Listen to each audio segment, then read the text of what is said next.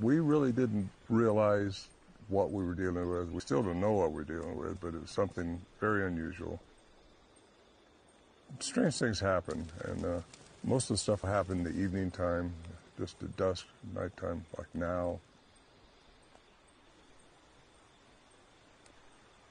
The first time I ever heard anything was later in '71. I came back up with the guys, and and uh, we was here by the stove. There was a stove here then, and uh, as soon as it starts getting dark, we'd go in.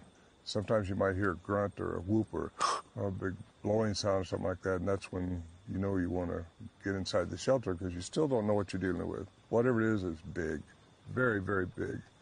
We all go inside, close the shelter door, and that's a log that we put between these trees, and then we'd strap it inside a cable, and then uh, then they would start making their sounds. And that was in '71 when I first started hearing them, and we started recording them.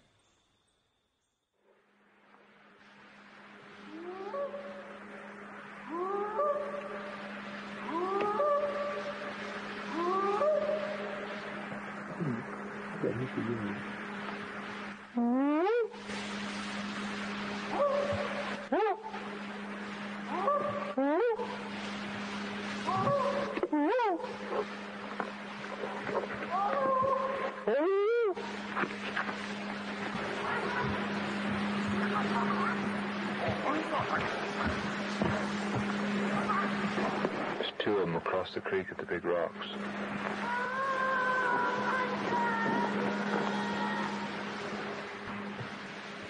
Uh-huh.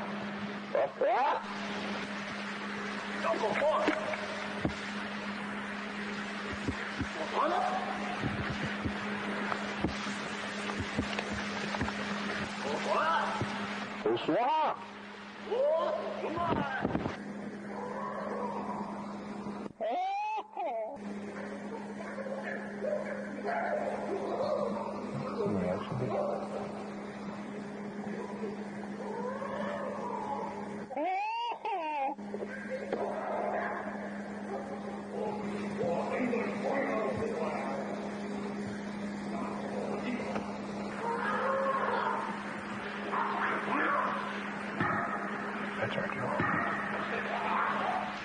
We were all talking about maybe having to shoot our way out. You're just sitting there, all of you are, are kind of petrified. You're just waiting to, for the walls to break open, something reach in there and grab you and hold you up and waiting for the light to break in the cracks of the walls and never happened.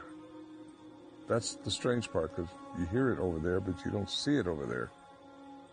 As time went on, 72, same thing, you know, whatever it was we thought might be trying to scare us out. Maybe this is their territory, but I, we don't know. We can only guess at why they were doing what they were doing, and uh, but they were observing us. That's for sure.